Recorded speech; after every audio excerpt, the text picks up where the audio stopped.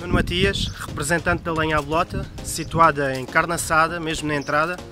Uh, temos preços muito competitivos no mercado, qualidade não se fala, felizmente. Estamos em promoção desde 1 de junho até 31 de agosto. Aproveitem, venham até nós.